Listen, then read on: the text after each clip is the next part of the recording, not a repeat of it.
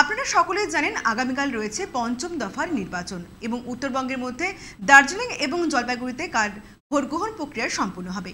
মাটিগাড়া নকশাবাড়ি বিধানসভার বিভিন্ন ভোট গ্রহণ কেন্দ্রে ইতিমধ্যেই প্রবেশ করতে শুরু করেছেন বিভিন্ন ভোট কর্মীরা আগামীকাল পঞ্চম দফার ভোট এবং তার আগে এই ভোট কর্মীরা এভাবে পৌঁছে যাচ্ছেন বিভিন্ন ভোট কেন্দ্রে।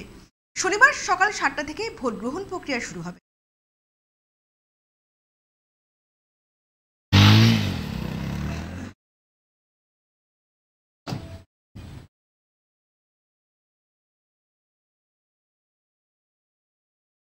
মাটিকানা নকশালবাড়ি বিধানসভার বিভিন্ন ভোট গ্রহণ কেন্দ্রে ইতিমধ্যে প্রবেশ করতে শুরু করেছেন বিভিন্ন ভোট কর্মীরা।